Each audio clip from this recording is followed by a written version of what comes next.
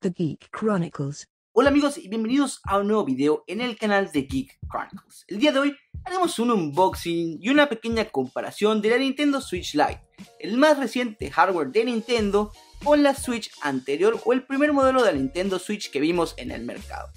Y bueno, acá tenemos la cajita de la Nintendo Switch Lite, tenemos logotipos de Nintendo, Nintendo Switch Lite, advertencias.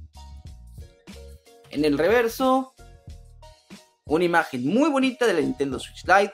Esa es la color turquoise o turquesa. Algo así como un azulito. Y bueno, procederemos a desempacarla.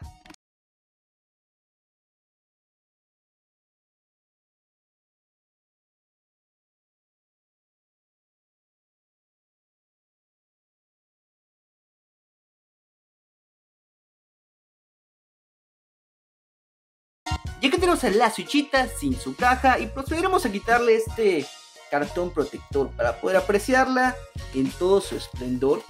Y teniéndola ya en mis manos, me recuerda en exceso al Game Boy Advance, no solo por los colores, sino por la estructura y tal vez hasta ese feeling en plástico.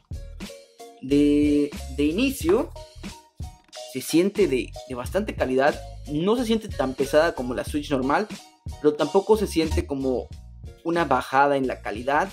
Los sticks están bastante, bastante buenos a decir verdad. Los botones me gustaría un poco más rígidos, pero no se sienten nada mal. De hecho, menos y más se sienten bastante más rígidos que los XY normalmente. Eh, algo que tiene esta Switch que no tiene la anterior eh, modelo es el D-pad. Mm, igual siento que le hace falta un poco de rigidez, pero nada mal. Acá tenemos el botón de captura, botón de home, LR y ZR, ZL. Estos dos, estos cuatro botones sí se sienten muy bien. Tenemos los de volumen, para insertar audífonos. Y bueno, ¿qué más tenemos en la caja? Tenemos únicamente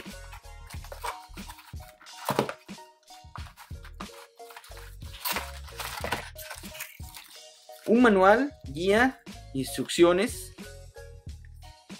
y el cable conector para cargar la corriente de nuestra Nintendo Switch. Muy muy parecido, si no es que el mismo que vimos con el modelo anterior. Y bueno, como muchos saben, las diferencias mayores con la Nintendo Switch Lite y Nintendo Switch normal es el tamaño. De hecho, acá tengo mi Nintendo Switch como pueden ver, el tamaño sí, sí es, es bastante la diferencia. Tanto en tamaño de la pantalla como en el de los controles. Lógicamente, la Nintendo Switch Lite es un solo producto. No podemos quitarle los controles. Mientras que la Nintendo Switch normal, pues podemos remover los Joy-Cons. Esto no significa que no podamos conectar más de dos controles a la Nintendo Switch Lite. De hecho, podemos variar unos Joy-Con normales cualquier otro control por medio del sistema de Bluetooth integrado. Muy muy útil. La Nintendo Switch normal tiene este pequeño stand para poder jugar, jugarlo sobre mesa. Mientras que la Nintendo Switch Mini no incluye ninguno. Acá tenemos el puerto para insertar la micro SD y el puerto para los videojuegos bastante difícil de sacar, probablemente sea únicamente mi modelo.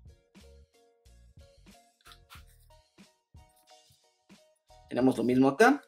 Y podemos ver una rápida comparación que en la parte de arriba es en esencia lo mismo. Tenemos el botón de power en ambas, menos y más del volumen. Podemos ver que la ventilación es un tanto distinta, siendo bastante más amplia en el modelo Lite. Tenemos acá el jack para los audífonos en ambas. Game Card y bueno, los botones de los Joy-Cons. En el frente igual tenemos un layout muy similar. Obviamente los Joy-Cons de los primeros modelos de Switch incluyen cuatro botones en vez de un D-pad.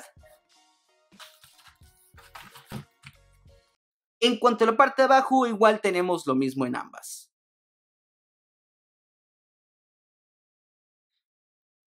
Y bueno, ¿qué otras diferencias tenemos entre la Nintendo Switch normal y la Nintendo Switch Lite. Como sabemos algunos, la Nintendo Switch ya sufrió una revisión. En específico, esta es la primera versión de Nintendo Switch. los que la consiguieron a partir de julio o agosto de 2019 poseen una Nintendo Switch diferente. Su mayor o destacable cambio es que la duración de batería es considerablemente mayor. De hecho, la Nintendo Switch Lite tiene mayor batería o mayor duración de la batería que la Nintendo Switch normal. Otro plus que tiene la Nintendo Switch Mini, lógicamente, es su tamaño, que para hacer una consola portátil esto es mucho, mucho más útil que bueno, este armatoste que tenemos acá. Lógicamente con la portabilidad vienen algunas deficiencias, siendo la más notoria la imposibilidad de poner la Nintendo Switch Lite en el dock para conectar la Nintendo Switch al televisor. Acá podemos ver que la Switch normal cabe perfectamente y se ve hermosa. Mientras que la Nintendo Switch Mini... Mm, no, definitivamente no entraría. Pero pues ni a madrazos. Esto no es una cuestión de, de software, más bien es de hardware.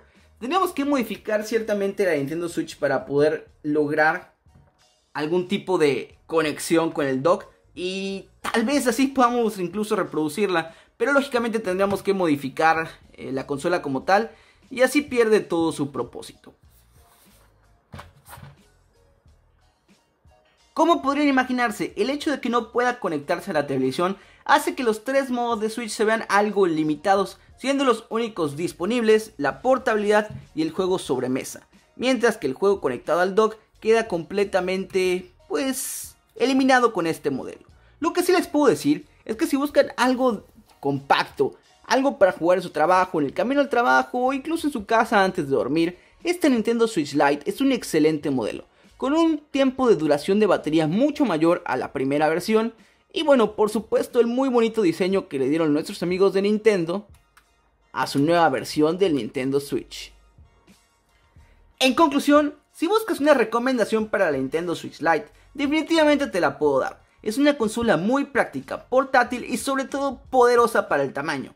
Y bueno, otro plus definitivamente es que la Nintendo Switch Lite cuesta aproximadamente 100 dólares menos que la versión original. Estamos hablando de unos 2 mil pesos. Un ahorro significativo sobre todo para los que nos gusta invertir más en nuestros juegos que en el hardware. Si te sirvió este video no olvides compartirlo, dejar tu like y suscribirte al canal para mucho más contenido geek. Nos vemos en el siguiente video.